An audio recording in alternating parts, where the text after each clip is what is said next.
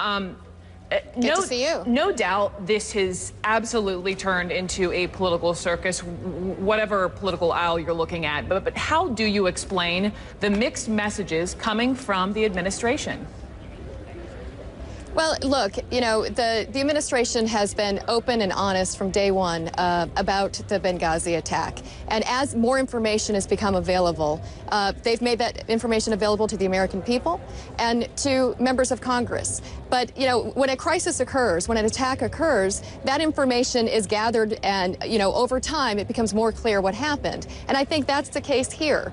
And, you know, I, we're here in Kentucky uh, at the site of the vice presidential debate, and we're anxious for this actually to come up tonight uh, because Joe Biden, the vice president, will be standing on stage with Paul Ryan. Paul Ryan has politicized and made it a political circus all over this country uh, of the terrible tragedy that happened in Libya. But, and but you know, the one thing that he's not doing is saying exactly exactly what he would do differently than the president and the vice president. I hope he'll explain that to us tonight. I think a lot of Americans want explaining uh, uh, from from both Biden and perhaps we'll, we'll hear some answers from Ryan as well. But I, I have to be specific when it comes to the administration because that's what I'm asking about. And so I'm sure you've seen this, but I'm going to do this for our viewers.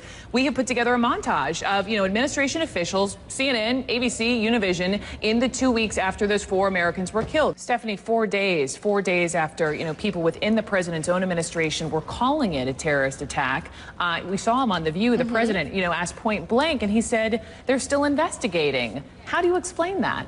Mm -hmm.